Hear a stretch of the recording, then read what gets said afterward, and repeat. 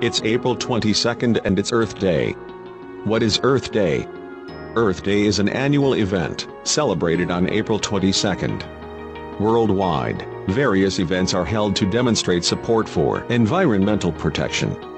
It was founded by United States Senator Gaylord Nelson as an environmental teach-in first held on April 22, 1970.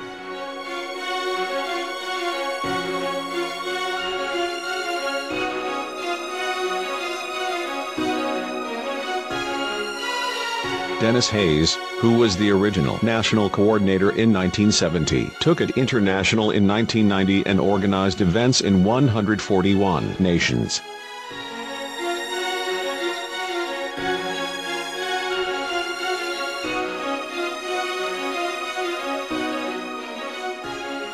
Earth Day events in more than 193 countries are now coordinated globally by the Earth Day Network.